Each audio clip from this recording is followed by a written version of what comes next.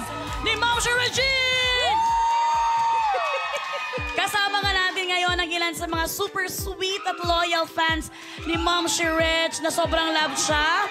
Grabe ang pagmamahal sa'yo. At ngayon nga, Ma'am si Reg, bibigyan natin sila ang ilan sa kanila ng chance na makausap at magtanong sa'yo sa kanilang iconic idol. Okay. Ang ating first Regine fan, pwede ka nang magtanong kay Ma'am si Reg.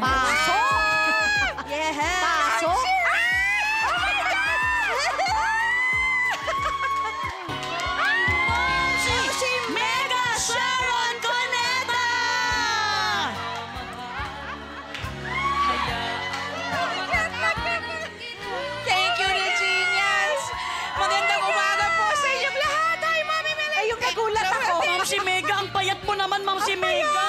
Oh my gosh!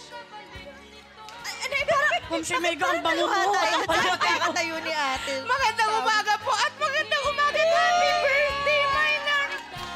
Ma'am si Mega Sharon Coneta!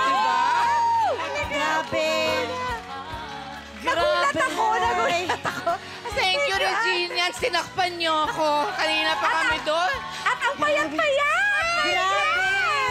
ako kumain nung iniwan mo ako. Kasi nauna siya umuwi eh. Oo nga naman. Nakakatuwang makita talaga yung reaction ni Ate Reg nung tumayo si Ate Shawi. Ay, sura mo na. Ala kasi nagtatago pa. Nakakaiyak, Saya, oo, nakakaiyak. totoo lang. Thank you.